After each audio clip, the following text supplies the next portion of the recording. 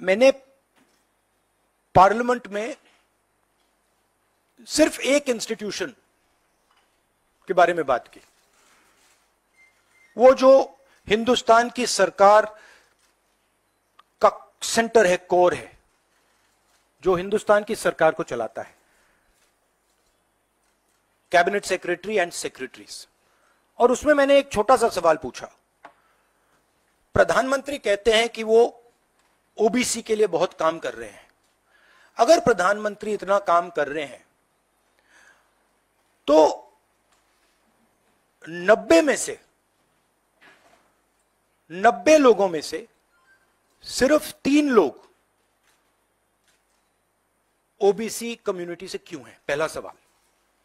दूसरा सवाल, मैंने यही एनालिस एनालिसिस बजट को देख के की।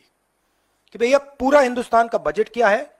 और ये जो ओबीसी ऑफिसर्स हैं, ये इस बजट में से कितना कंट्रोल कर रहे हैं और क्या कंट्रोल कर रहे हैं?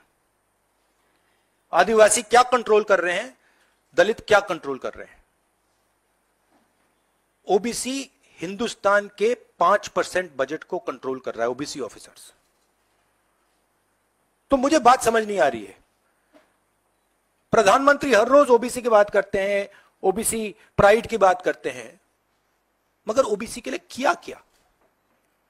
अब जब मैंने ये बात बोली, उनका रिस्पॉन्स बड़ा इंटरेस्टिंग है। वो कहते हैं कि लोकसभा में हमारा रिप्रेजेंटेशन है।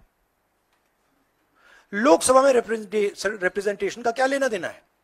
मैं कह रहा हूँ कि बजट डिसीज़न जो लेते हैं, जो बजट को, ऑफिसर्स हैं जो बजट को कंट्रोल करते हैं